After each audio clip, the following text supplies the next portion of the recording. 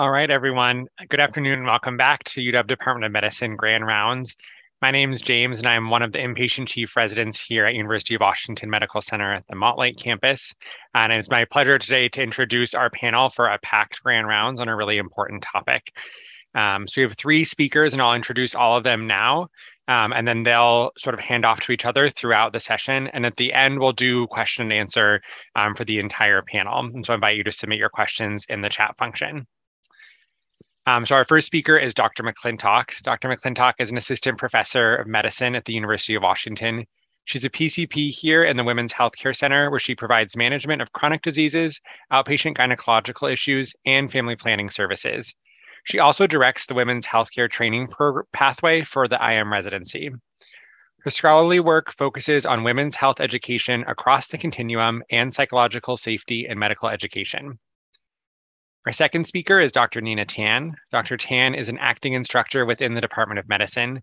She's a primary care provider at the UW Roosevelt Clinics and a breast health provider with the Fred Hutchinson uh, Cancer Center breast health team.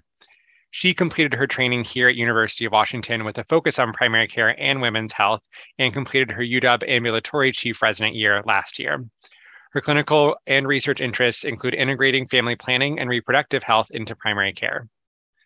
Our third and final speaker is Dr. Beaman. Dr. Beaman is a volunteer clinical faculty member at University of California, San Francisco. She completed her residency at UCSF, where she served as an ambulatory chief resident and was on, and was on faculty at San Francisco General Hospital. Her academic and research interests focus on the integration of medication abortion into the primary care setting, contraceptive decision making, and legal barriers to becoming an abortion provider. Currently, she provides direct clinical care and consultation to virtual healthcare clinics and organizations looking to expand medication abortion through telehealth services. Thank you all for being here, and we look forward to a great discussion. Thank you, and thanks for having us this afternoon. Um, what we hope to talk about today is ways that internists can support reproductive health in general and abortion in particular, um, and continue to provide, provide high quality evidence based care to our patients through the many roles that we hold as clinicians, as educators, as patient advocates, and as community leaders. Our objectives today are to identify where and how abortion services are being limited across the country and in our region. Talk about integrating reproductive health services into the care that we already provide regardless of specialty. Describe the training landscape for rising physicians and implications for future service availability locally and nationally, and identify opportunities and effective strategies for physician advocacy. So I want to start by just making it relevant to everybody. I think that we all can say that we treat patients who are 15 to 45 years old in our practice we all at some time might prescribe a teratogenic medication or treat a disease process that might impact pregnancy. And given this, do you know whether your patient could become pregnant or whether your patient would want to be pregnant? And are you providing care that is aligned to that? So, this is really some of the things that we're going to talk about today. Really, we are all providing care that is reproductive health aligned even if we sort of aren't um, or don't think that we are before today. So I want to start with an understanding of service availability and how abortion can be limited from a structural standpoint in ways that aren't just about gestational age, but also how services are made available to people geographically, financially, and through the consent process and gatekeeping. This is a map of our country. Um, and this is taken from the Guttmacher Institute, which updates regularly um, their map of areas that are considered protective of abortion and areas that are considered restrictive of abortion. So you can see the red being areas that are more restrictive, where we anticipate that whatever access is or was there is going to be removed or severely threatened, and areas that are Green, blue tend to be areas where we expect access to remain protected or expanded. And I want to highlight that although we often think of this as a regional um, issue, even in our own region here of Washington, where we expect services to maintain their availability very closely, we have neighboring states like Idaho with very different policies um, and impacts to care. And also to just highlight, of course, we all know that we see patients from the entire WWAMI region. So we see people here that may be going back to really restrictive areas where they live. So what I want to do to start is just take a compare Washington and Idaho and see how those two states are structuring the rules and regulations around abortion and the implications for patients. So in Washington, abortion policies currently in effect include abortion is banned at fetal viability, which is generally 24 to 26 weeks of pregnancy. State Medicaid funds can be used to cover abortion. Private health insurance plans are required to cover abortion. And qualified health professionals, meaning not solely physicians, can provide abortions. And there are specific protections for patients and abortion clinic staff. How does that translate to what patients have accessible to them within their state? So this is data, by the way, from 2020, so pre-Dobbs decision, but still the general principles will apply. So in Washington state, we have 40 clinics that provide abortion in 2020. 59% of Washington counties do not have an abortion provider in 2020, which translates to 10% of people 15 to 44 in Washington live in a county without an abortion provider in 2020. And the distance a person has to travel is 6, 10, or 14 miles one way in order to obtain an abortion at 12, 14, or 20 weeks, respectively. Let's compare that with our neighbor, Idaho. In Idaho, abortion is completely banned, except in very limited exceptions. Patients have to wait 24 hours after a mandatory counseling visit to obtain an abortion. And it doesn't have to be in person, but still imposes a waiting period. State Medicaid coverage of abortion is banned, except in very limited circumstances. Private health insurance coverage of abortion is banned, except in very limited circumstances. Parental consent or notice is required for a minor's abortion, and only physicians can provide abortions, not other qualified healthcare professionals. How does this translate to service availability in Washington, uh, excuse me, in Idaho? In Idaho in 2020, pre Dobbs, there were three clinics that provided abortion service. 95% of Idaho counties did not have an abortion provider in 2020. 67% of people 15 to 44 in Idaho lived in a county that did not have an abortion provider and people had to travel 21, 36, or 286 miles one way in order to obtain an abortion at 12, 20, or 22 weeks. So, in comparing these two states, we can see some of the ways that abortion is limited or restricted, again, that in ways that are not just related to gestational age. So, some of the ways are physician and hospital requirements, you saw, gestational limits, public funding or private funding restrictions or mandates on how abortion services are paid for. Uh, in 45 states, re- providers themselves can refuse to provide abortion care based on their own ideology. And in 42 states, the entire institution can refuse to provide care based on their own ideology. So, a common example is a Catholic healthcare system. Uh, 17 states have mandated counseling, and they often mandate certain things that must also be in the counseling. So, some states uh, mandate things like they need to counsel on the ability of a fetus to feel pain at 12 weeks or long term health consequences for patients who obtain abortions. There's also waiting periods and parental involvement or parental consent required in some states as well. So I hope that with this talk, you'll see the ways that any care we provide ultimately impacts the reproductive health care and informed choice for our patients. And this may be particularly important to keep in mind as we care for people who come to UW for care and go home to more restrictive environments in parts of the WWAMI region. And as we hopefully start to engage patients in discussion about reproductive health as it pertains to your area of practice, we may come to that discussion from a place of pregnancy prevention and placing a high priority on planning or just the ability to plan, because that is what we like to do. um, it is still important from the standpoint of helping support healthy pregnancy in those who desire it and prevent pregnancy or the need to seek an abortion within a restrictive environment for those who do not wish to parent. And we also want to keep in mind ways that our discussions might be experienced by patients despite our best intentions. And what I'm talking about here is just sort of what we both bring to the exam room and what we both bring to the conversation. So, considering the historical context, for many of our patients, history will inform how people view and understand what's happening in the present.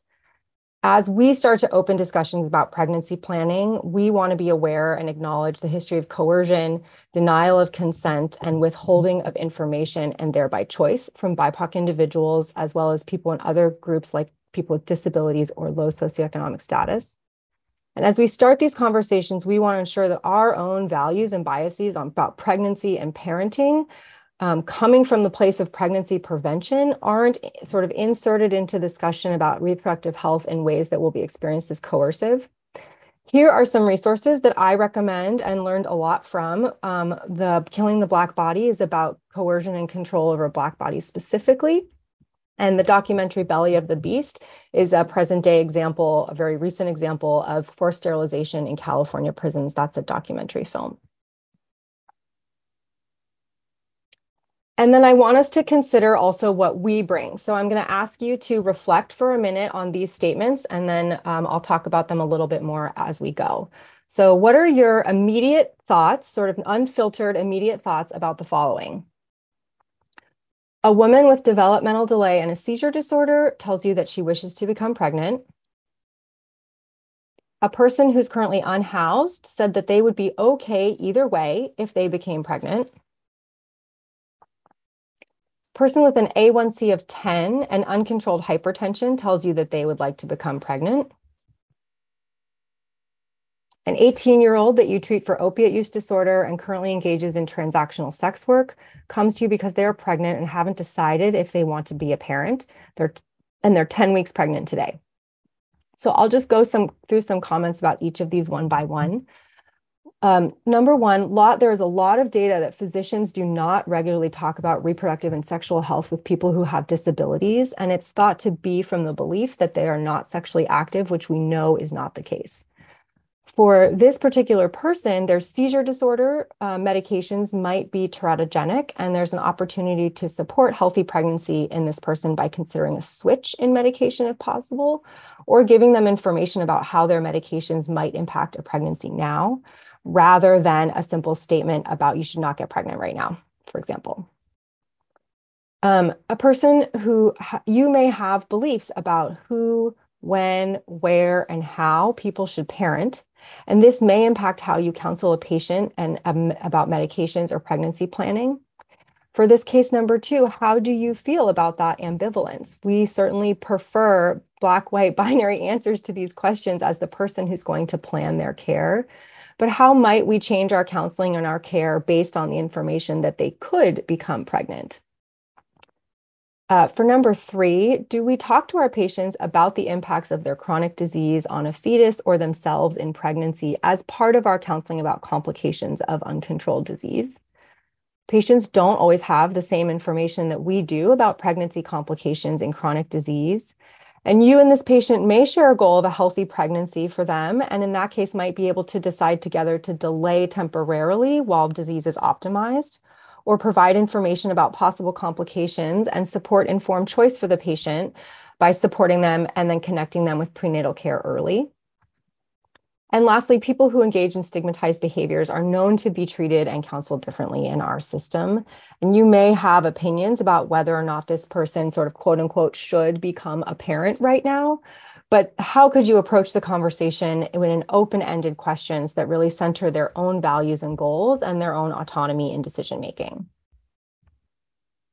And just to highlight that this is neither historical nor theoretical, here's a study from 2016 Physicians were asked to counsel each of these women in a vignette on contraceptive methods, with each person presented once to reflect a higher socioeconomic status and once to represent a lower socioeconomic status. And in this study, women of color and women perceived to be of lower socioeconomic status were more likely to be recommended to limit their family size and offered surgical or LARC methods versus women who were white or perceived higher socioeconomic status. Um, and even the way that we counsel patients has an impact. There, um, specifically, even just us suggesting a particular method to a patient can impact how happy they are with their method and whether they continue to use it. So, in terms of how our goal about how to approach conversations in reproductive health and pregnancy with our patients, the reproductive justice movement can give us a framework for how we might start to think about those conversations. This is an organization focused on reproductive justice, which they define as the human right to maintain personal bodily autonomy, to have children, not to, to not have children, and the right to parent the children in safe and sustainable communities. And as we center, as we enter these conversations more and more about pregnancy and planning, um, our goal is to hear what our patients need and support their ability to make informed choices that honor their autonomy and reproductive health as they define it. So, more practically speaking, what can you do in your practice? And again, I view this as regardless of your specialty. We can think of this as being care along a continuum. And from the planning perspective, we can um, optimize chronic conditions and medication use for people who to help prepare people for healthy pregnancy.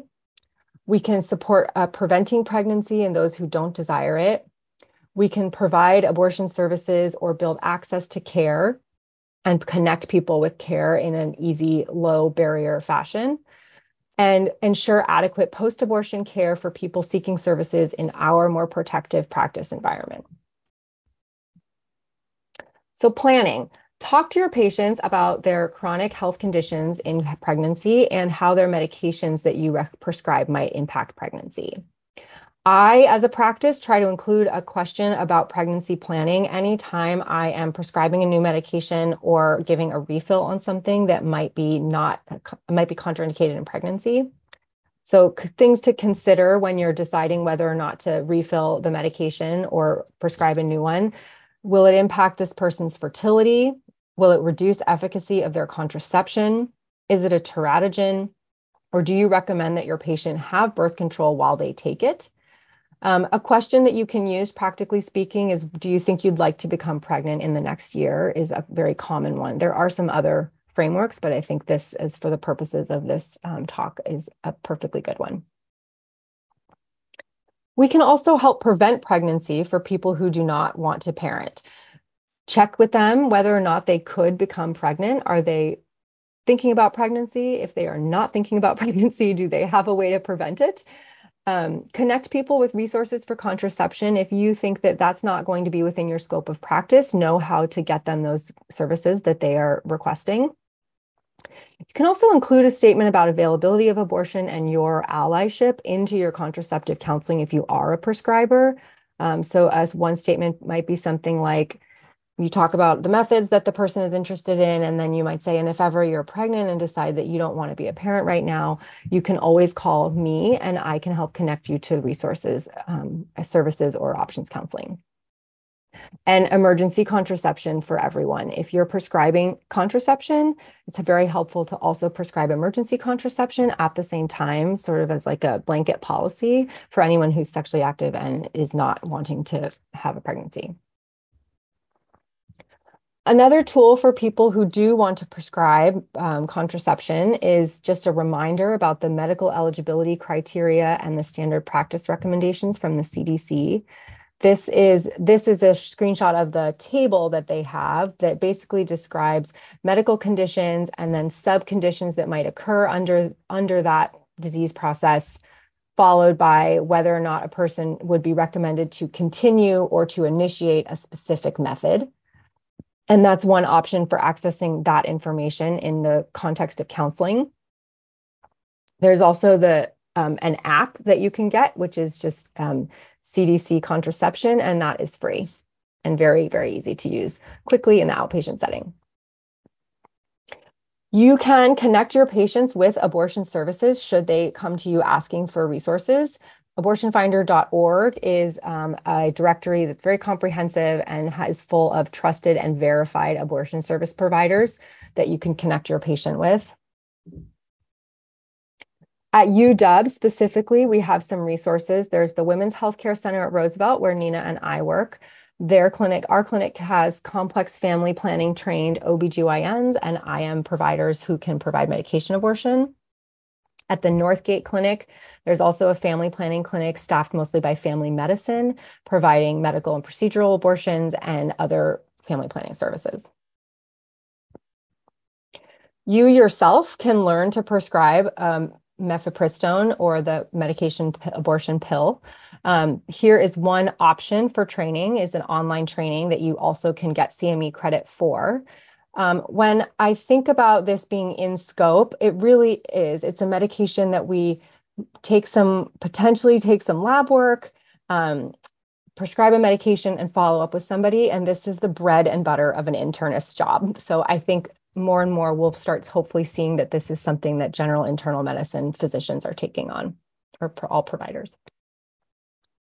Post abortion care, Complications are rare, but they include incomplete abortion, which is retained products of conception, hemorrhage, infection, uterine perforation, anesthesia related complications, and uterine rupture.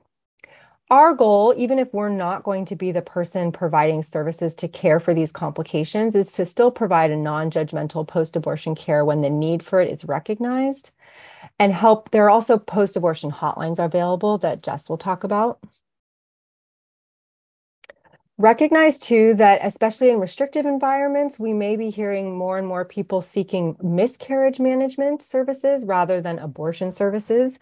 Um, there are some trainings available for physicians to manage miscarriage in their clinic, and that is this organization here is one that is led by UW faculty. So before I hand it to Nina, I just want to sort of remind everybody that every any care that you provide is reproductive health care, and um, it will have an impact on the reproductive health of our patients.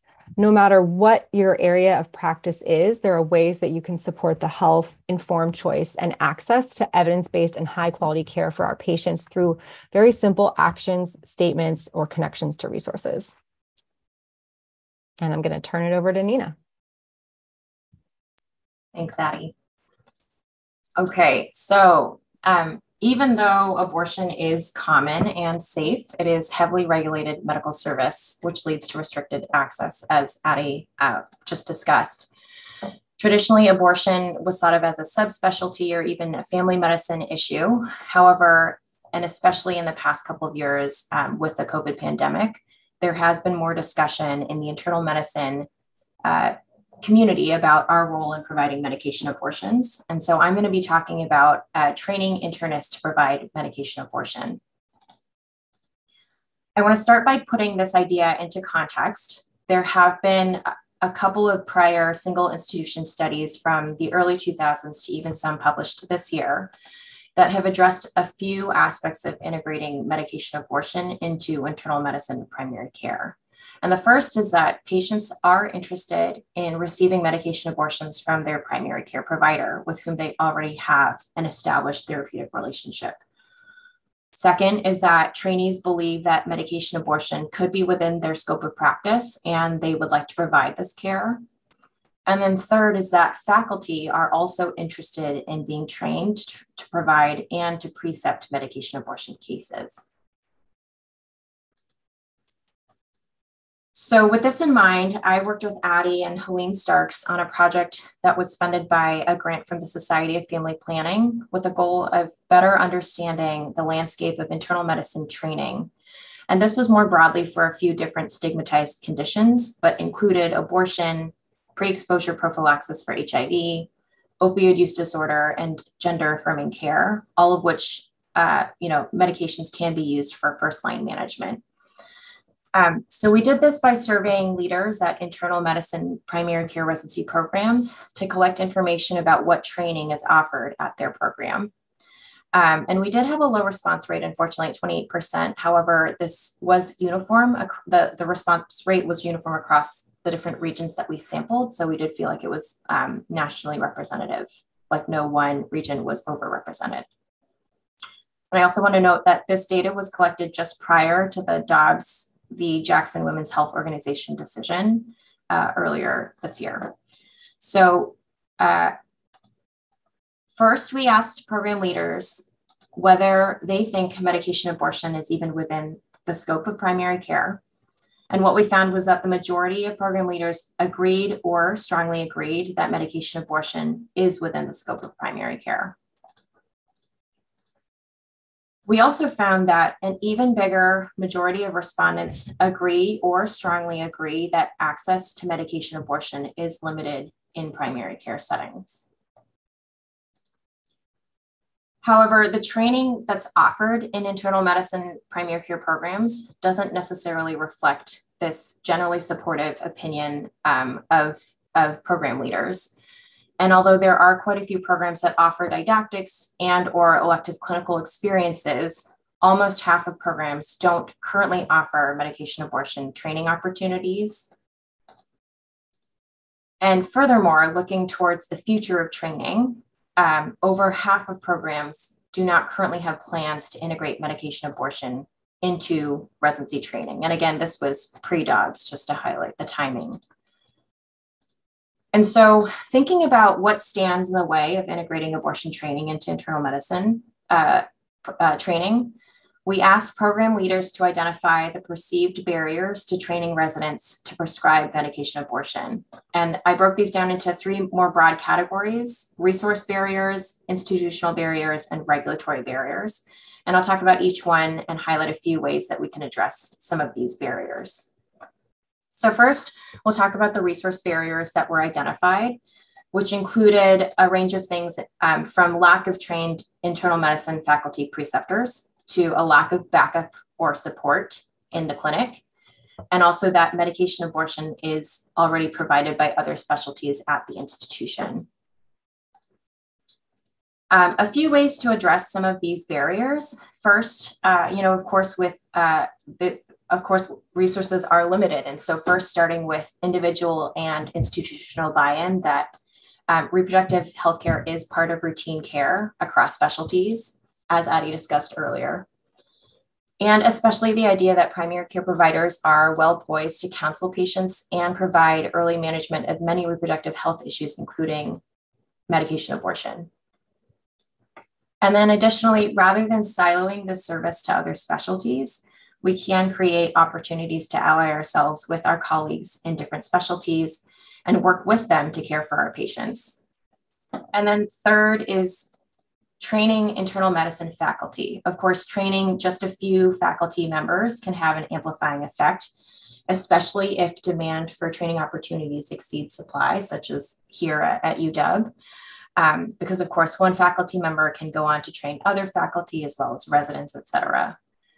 And there are many training toolkits out there, which you've already heard about and you'll hear more about later as well. Um, and these are a great way for trainees or faculty champions to learn how to prepare a clinic and individual providers to prescribe medication abortion. And one that I just want to quickly plug here is, is a toolkit called Access Delivered, which was created by UW Family Medicine faculty in collaboration with this organization, Plan C, which provides patients with at home abortion pill options. So, moving on to institutional barriers, uh, these ranged from institutional leadership not being supportive to religious policies that prevented um, training. And I want to highlight this point about how religious affiliation can affect residency training as a whole. There was an OB-GYN study that looked at training opportunities at programs where uh, residents spend 70% or more of their time at a faith-based hospital. And of these programs, 12% did not offer any abortion training and were not even meeting ACGME requirements for this topic, um, when compared to 5% of programs when you look at both uh, religiously affiliated and non religiously affiliated. So I wanted to discuss this for two reasons. One is that on the whole, we can't necessarily assume that abortion services are provided by other specialties, especially in other parts of the country where abortion is not as supported as it is here in, in Seattle or in Washington. And second is that with the increasing number of hospital mergers, we need to consider how this impacts resident training and the future of our healthcare workforce in general. So returning back to a few ways that we can address these institutional barriers. One option is, of course, having discussions with leadership to find out if there is institutional support, and if not, why. Um, if yes, what type of support is offered? Is it sort of informal verbal discussion based or is it integrated into policies and, and you know, formalized in that way? Um, second, medicine is team based. So making sure that staff and providers who are hired are on board with the services that are provided by a clinic. And then third is ensuring that training is not affected by mergers, especially as mergers continue to happen more and more. So moving on to our last category, which is regulatory barriers. Um, one data point I wanted to highlight is that 40% of respondents were unsure whether there are even regulatory barriers to providing abortion training. For example, whether there are state or federal laws or certification requirements. Uh, and this is certainly not surprising uh, and maybe a, a, reflection of a couple different things. For example, the amount of misinformation and fear that's out there about abortion in general, um, these constantly changing laws that are often vague and can be interpreted in many different ways, um, and a general lack of education about abortion. And many of these things do stem from general stigma and politicization of abortion. And while we are discussing the regulatory environment, um, I do want to highlight a recent development about abortion provision at the Veterans Affairs sites which is that the VA released a statement in the past month that was supportive of abortion counseling as well as provision of abortion, though with some exceptions. It's uh, the statement states that when the life or health of the pregnant veteran would be endangered is when abortion would be um, provided through the VA. And it remains to be seen how this will be interpreted and implemented, but this is certainly an encouraging step forward.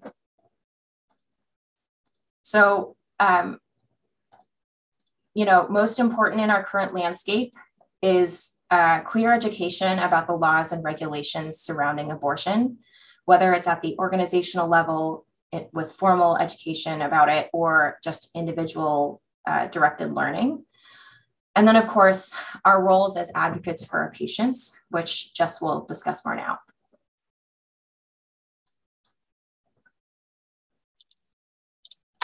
So, our final section today is going to focus on opportunities for advocacy and strategic partnerships for both physicians as well as patients. And we hope to share with you to increase awareness and resources for helping patients during these uncertain times. So, as we mentioned, this is an ever shifting landscape. We know the political and geographical landscape is changing and has led to numerous clinic closures, as well as a movement of patient care across state lines and amongst institutions. The two organizations who have been tracking this very closely are the Guttmacher Institute on the left, as well as the Center for Reproductive Rights, which has created this map, which allows you to be able to track legislation closely in your state. Both of these organizations do update the policies um, on a weekly and ongoing basis, um, and so are something that we wanted to make sure to point you to to increase awareness. Navigating this uncertainty is surely going to require networks and allies. As Nina pointed out, in the pre Dobbs world, we face challenges to training physicians, and specifically those of us in less traditional family planning oriented fields, such as internal medicine. And this, tra- this trend is only likely to be exacerbated in these current times. So we will need to partner and lean on our existing networks, create new relationships, and strengthen the allyship to prepare to care for patients during this time. And in addition, we know that care for our most complex patients will also require these relationships and partnerships between generalists and specialists at our institutions, as it always has. And that is an increase um, in, uh, in the concern as well as the need for this, given the morbidity and mortality associated with carrying pregnancies to term. And there have been significant shifts in patient care, not only across state lines, as I mentioned, but also in where the care is taking place. So patients are seeking pre and post abortion care in primary care settings, urgent care settings, as well as ER settings. And there's also been an increase in patients who are self managing their abortions outside of our traditional brick and mortar clinical settings. And finally, there's been a movement towards the creation and streamlining of legal resources to help mitigate the risk for both patients as well as clinicians. After a talk of this nature, people often are asking themselves, where do I start? And so I'd like us to focus on some of the opportunities that live in the high impact and low effort zone. And to start, the following are three concrete ways to engage after this talk. The first is simply to share with someone, a colleague, a friend, a family member who has either been in attendance here or who is interested in this topic area or not, um, to continue the dialogue about something you have learned or are interested in exploring further after this talk.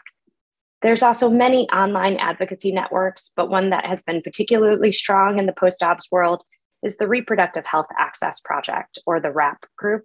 They have regional, in person, and virtual meetings to meet a cohort of interested and dedicated individuals in your state and region, as well as a virtual national internal, internal medicine cluster, um, including other faculty members and practitioners who share a commitment to reproductive health. And here's the QR code in case you're interested in signing up for that.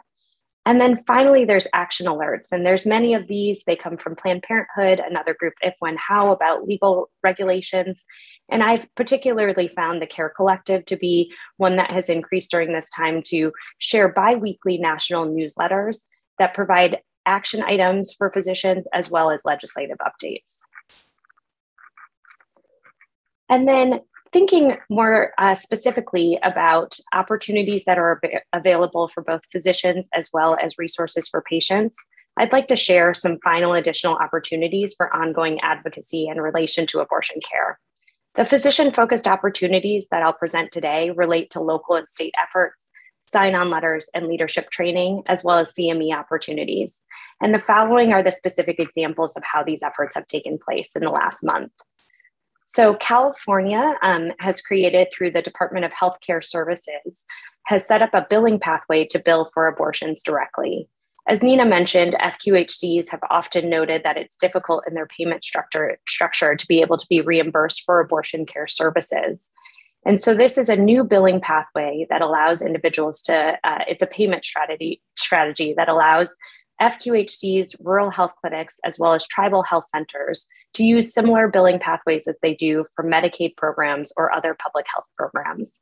And this allows the FQHCs to be reimbursed for the abortion services that they provide without having to use any of the federal funds. And that has been typically the main barrier for supportive states in expanding abortion care to their populations. The following is um, our two sign-on letters that have recently been distributed, um, and the, they are examples of ways in which individuals can sign on within less than a minute um, to be able to support major efforts across the country.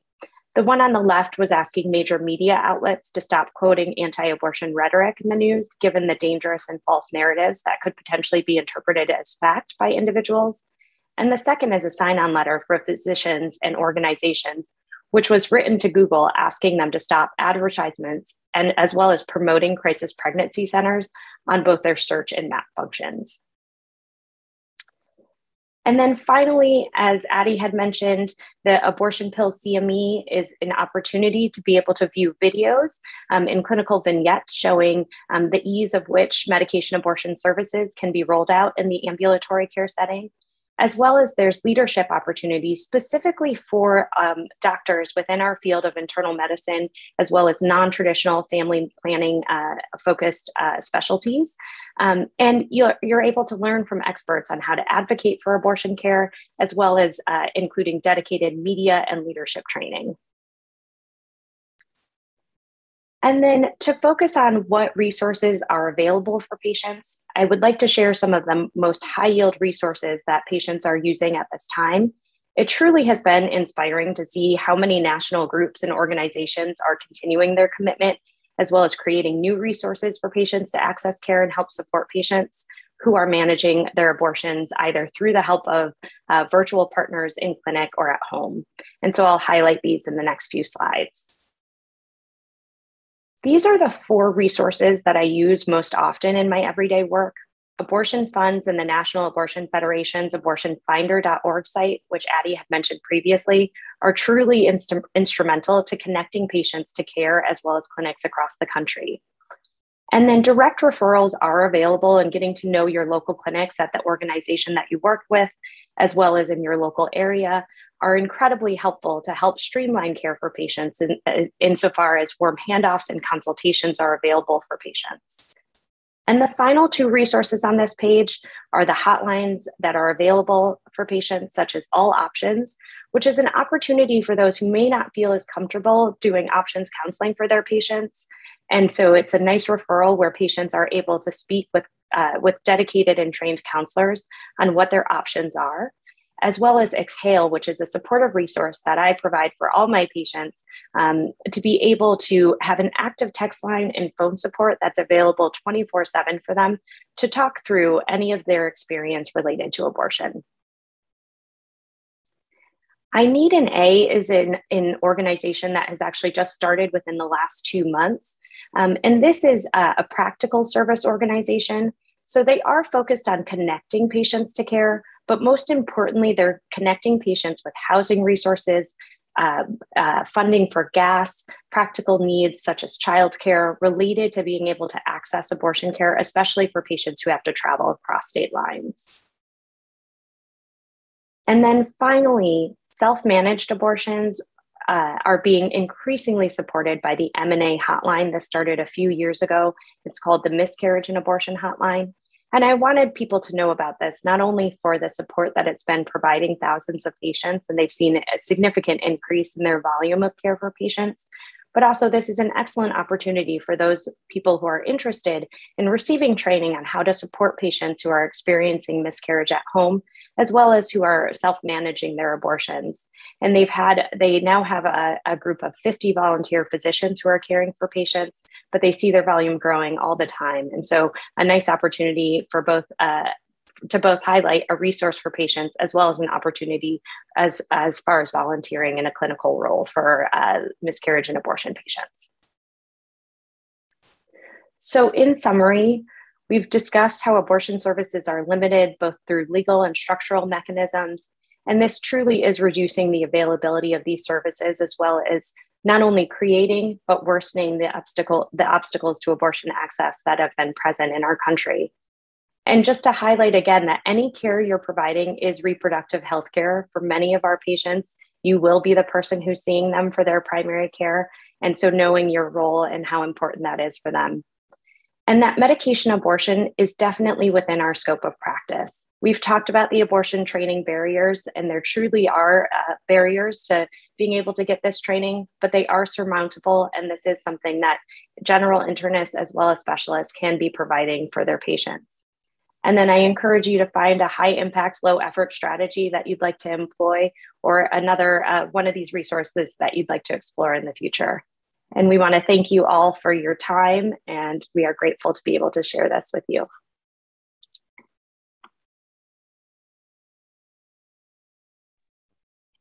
And um, this QR code is um, feel free to, uh, we don't have any trainings planned, but feel free to sign up and um, we will contact everyone um, when the next training is planned.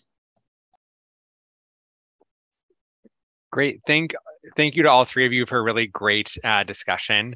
Um, if folks want to put their questions in the chat, we'll we have some time for Q&A for the whole panel.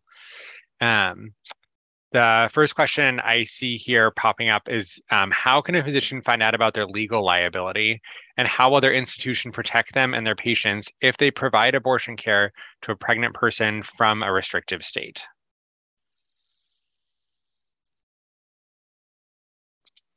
I'm happy to take that question. Um, I think it's incredibly important to think about that, and that's part of the logistical piece of being able to provide abortion care. I think that many of the institutions that we've been affiliated with or are affiliated with do have quite expansive malpractice insurance or coverage. And so I think it does start with a conversation with risk management, whether there's um, obstetric services that are not covered, if miscarriage management would, wouldn't be covered, or elective abortion. And so that conversation typically does start with risk management. I think that also um, then ends up being a discussion of kind of thinking about clinical services um, that are provided um, for individuals either at your institution if you're a part of that or if you're if you're thinking about having an outside or external partnership um, in terms of telehealth or virtual services and thinking about being in a protective state and providing care for a restrictive state Um, all of the care we consider for telehealth uh, that is provided is under the jurisdiction of wherever that patient is. Um, and so, uh, really thinking about there are some organizations that are providing care for patients who are in more restrictive states, um, which could certainly be a concern for liability as far as um, uh, malpractice insurance or your license, your clinical license. Um, but for those patients who are traveling to your care, knowing that they are those patients are protected um, in the state that they're receiving that care and they're under that jurisdiction of whatever the abortion um, laws are within that state.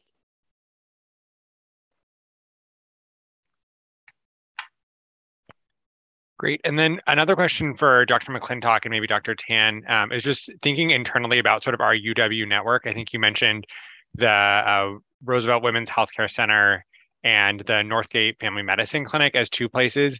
If folks are working at other primary care clinics within sort of the UW system, if they're trained, are they able to provide those services there, or is it sort of on a case by case basis? Um, UW in general has been very clear that they are organizations supportive of abortion services. And so, from that perspective, you are certainly allowed um, as long as you've received some training.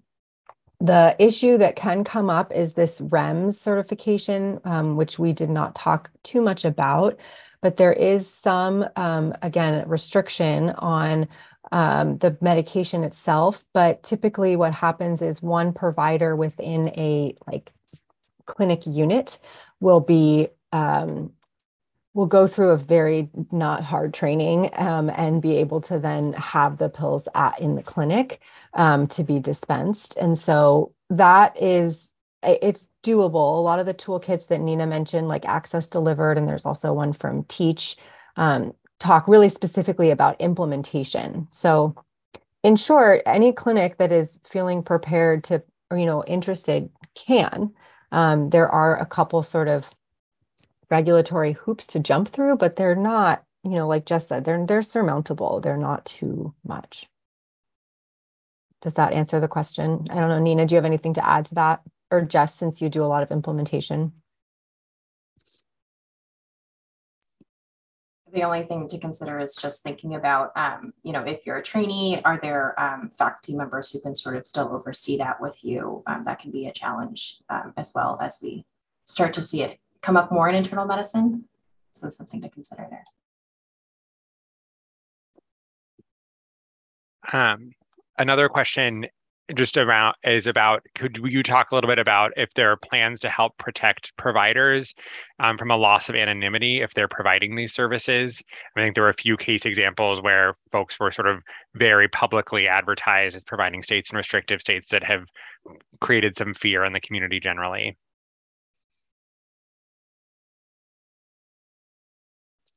i'm happy to speak to that as well. I think you know um, there's certainly a loss of anonymity, I think, here, but at the same time, many of the organizations that are providing this care um, are very protective of the individuals who are engaged in the care, and so um, they offer the ability to, you know, many of many of these organizations do not advertise publicly who are the people who are affiliated with their care um, and go through measures to protect. There's also um, the National Abortion Federation. I will say has been a huge resource during this time for individuals, and so just as we've mentioned toolkits for rolling out um, uh, rolling out abortion care services. They also have toolkits for individuals which are growing all the time with information about digital uh, digital digital privacy protections um, and are great ways to kind of start exploring if this is you know of a concern which surely it is for many of us um, to think about what are those personal protections going to be? What is my level of anonymity that i want? What is my level of risk that i'm willing risk tolerance that i'm willing to take on in order to engage in this care.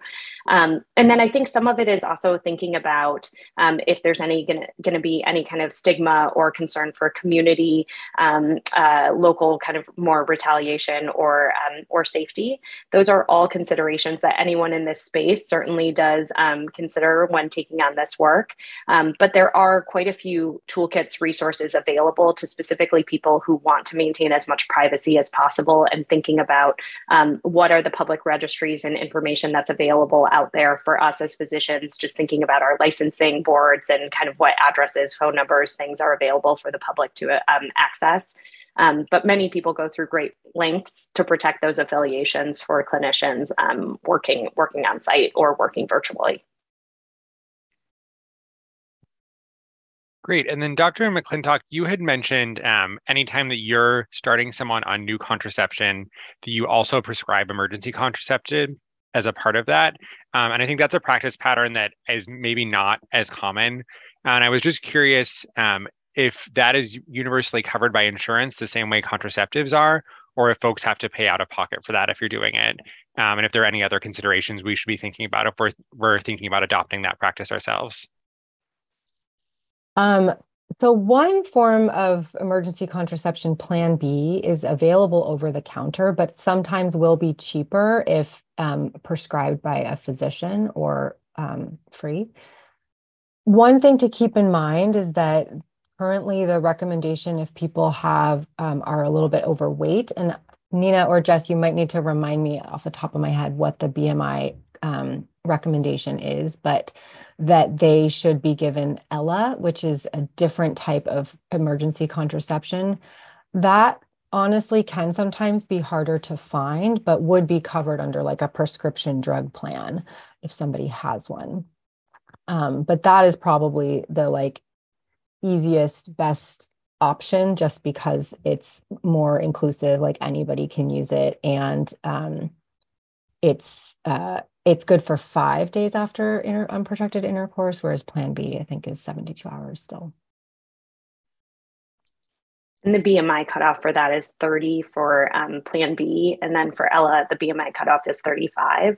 Um, and that's just due to the effectiveness. So people do use it above those BMI levels, but then it's with counseling to the patients.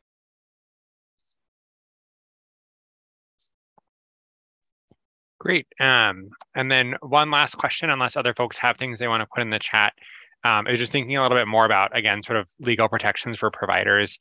Um, are folks in restrictive states at risk if physicians suggest sort of information using their cell phones? And there's a lot of concern about sort of online tracking and curious if you have thoughts about that.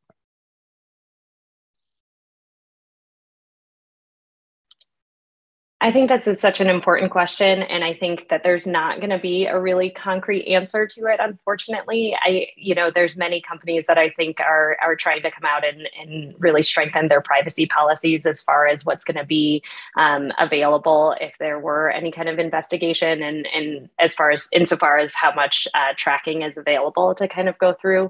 Um, you know, I will say many of us clinicians who are providing care um, for patients um, who are accessing care legally but are going back to a state um, in which they in which it's more restrictive. Many of us do do a lot of our conversations by phone and and feel that that's protective for patients in some ways. Um, I think it's, you know, a, a, lot of us also use HIPAA protected platforms, which is uh, obviously just good practice, but also has an extra layer of security for patients as well. Um, and then I think it's important just to know there are many Know Your Rights campaigns that are out there. Um, the Center for Reproductive Rights has a really nice one that's put together, which allows patients to also understand um, if they are ever in a clinical situation or in a situation in which uh, they're being um, told they're going to be investigated for the care that they've sought out um, what their rights are um, as far as uh, sharing any information if they have to, um, and and kind of provide scripts for patients that are available because we know that you know us as as clinicians are vulnerable, but certainly our patients are uh, are much more vulnerable and less protected than we are, and we hold a place of of privilege in comparison to them. And so um, a lot of these organizations are creating more general language, um, not necessarily legal advice, but kind of um, uh, information that can be given to patients so that they can be protected. Um, but I think more is yet to see about kind of tracking and, and how much we're going to be protected by that as, as far as uh, communicating with patients. Great. Um, and as we're wrapping up, I just want to highlight I, I believe what I heard, but um, correct me if I'm wrong. I think Dr. McClintock and Dr. Tan both sort of shared an openness to continue to be leaders for us within our institution as in our department as we start to navigate this evolving crisis over the next few years. And so I think we'll continue to learn more about our role and and educate ourselves and supporting our patients as we as we walk through this. Um, so I'm really grateful to everyone for joining us today for Grand Rounds uh, and thankful to, to our speakers um, for sharing their wisdom with us. We'll see you all again in two weeks. Um, and yes, for those asking the slides and and the video will be up on our Grand Rounds website next week. Have a good weekend, everyone. Take care. Bye. Thank you for having us.